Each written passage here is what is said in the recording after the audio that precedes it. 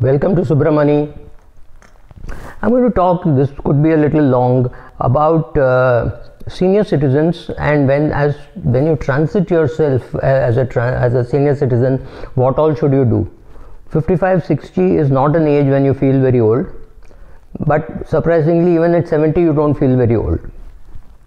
So, what happens is people keep all their uh, finances to themselves and private even when they don't understand so when a 70 year old who does not understand finances and is completely in uh, dividend schemes whatever you say they don't understand they don't come they wait for a very long period of time then they realize much later that dividends are now taxed at a different level right? So this is a very low level low end problem. There are many other problems which you which will hit you as you uh, transit into a uh, older senior citizen. At 60 you are a senior citizen. You are alert. You are talking to people. Maybe you know what is happening. So that's a great age to review what you're doing. Uh, make a will. Also make a health directive saying what should happen to you uh, what kind of treatment you want. Let me warn you it's not valid in india that uh, and this will not get implemented however you can tell your children that beyond this much amount I don't want to be spent. I have 10 lakhs of medical insurance. Beyond that, I don't want you to spend money. That's it. Just pull the plug, right? You can do that. But let's not get into the medical portion. Let us get into the uh, financial portion. If you can't understand your portfolio, please ask for help many senior citizens I know have very complicated and long portfolios without understanding what they are doing.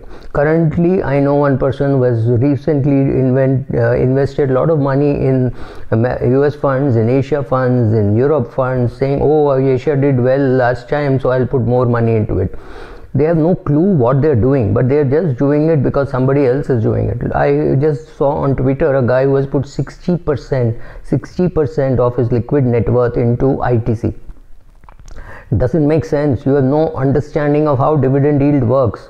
For dividend yield to be positive the share price should not fall. If the share price is falling continuously all the dividend is lost. If you bought coal india at 300 and uh, just because you were getting 12 rupees dividend please understand the 200 odd rupees which you have lost because the share price is now 120 right? So that is what has happened. You are unable to understand. So first step get yourself an advisor.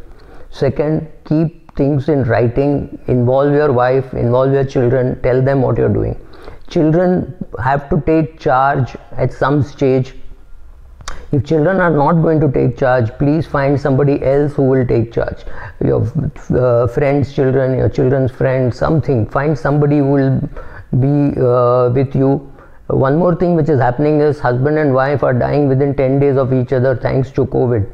In mostly in such cases where the husband and wife are living in india and the children are abroad that is what happens. Husband and wife own all the portfolios uh, husband first wife second etc the children are perhaps the nominees sometimes children are not the nominees because they always feel oh when one of us dies the other will make the necessary changes.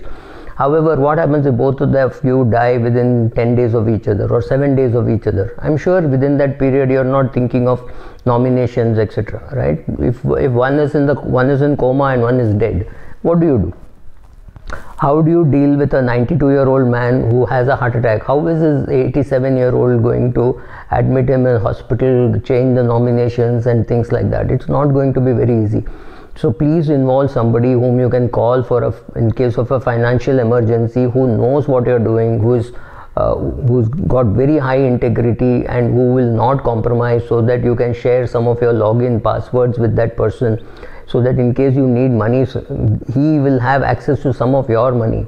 Or could be your son's friend or could be your nephew niece anybody right? So make sure that these arrangements are made.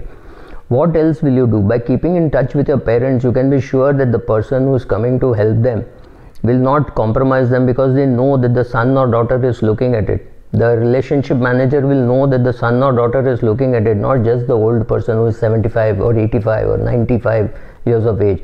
Decide at what age you need help but don't be uh, in the feeling that i can uh, look after my money till i turn 95 you may not you may not be able to do it at 85 and 10 years you will live wondering uh, who is going to help you what is going to happen things like that right?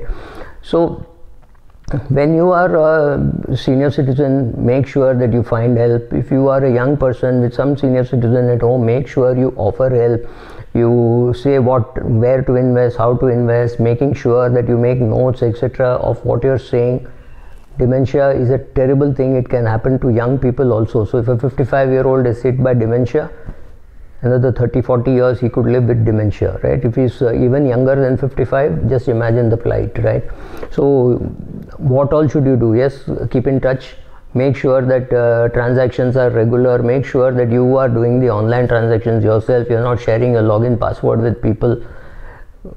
Largely these kind of things and uh, be more alert than what you would normally be. That's all. Thank you